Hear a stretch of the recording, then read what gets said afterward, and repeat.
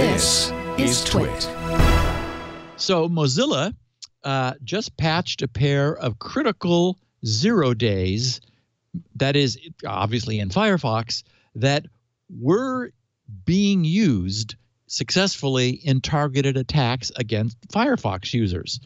Uh, both were critical remote code execution flaws resulting from some memory mishandling uh, with a dangling use after free pointer, uh, which, as we know, was previously pointing to allocated memory.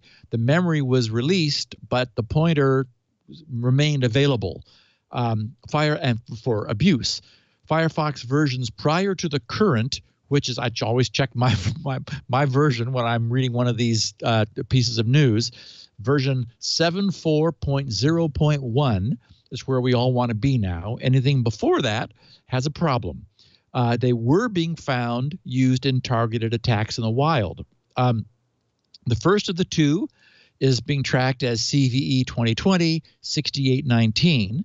As I said, a use after free vulnerability tied to a browser component. This is like an internal insider thing NS Doc Shell Destructor, which is a client of the NSI HTTP channel API. Like I, like I said, okay, something deep inside. Uh, it's a function of the browser related to reading HTTP headers. So obscure, but important.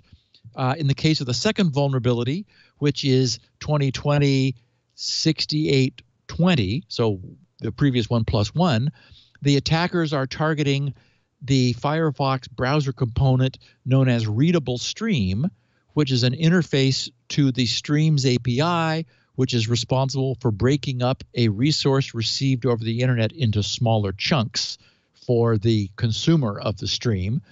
Anyway, uh, attackers would induce a potential victim to visit a maliciously crafted website to trigger these vulnerabilities and execute arbitrary code on devices running unpatched versions, that is, any version of Firefox pre- previous to uh, 74.0.1, and exploitation of either of these vulnerabilities would potentially enable the attacker to compromise the vulnerable system.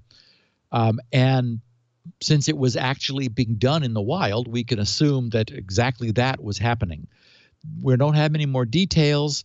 Uh, they're being withheld pending uh, maybe something related to other browsers. The vulnerabilities were reported by two security researchers, Francisco Alonso and Javier Marcos, both of Jump Security. L- last week on April 3rd, Francisco tweeted from at Rev Skills. He said, There is still lots of work to do and more details to be published, including other browsers. Stay tuned. Um, and that's interesting because, as we know, Firefox sort of now is the lone wolf from the pack. Um, it's not uh, Chromium based, and almost everything else is under the covers, not Firefox. So it's hard to imagine that something that would affect Firefox, unless maybe like the Tor browser, which is also Firefox derived. I don't know. But anyway, maybe we'll find out more in the future. Uh, maybe they're just sort of teasing people without anything to back it up. Uh, we'll see. Um, but anyway, targeted attack. It's unlikely that any of us were targets, although, well, I, I, I, I do prefer Firefox still.